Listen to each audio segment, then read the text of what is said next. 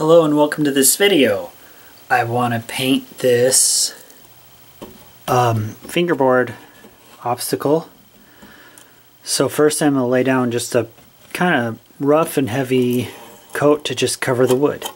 I'm going to be using some house paint and because um, I have it and it'll be a good thing just to get the wood covered.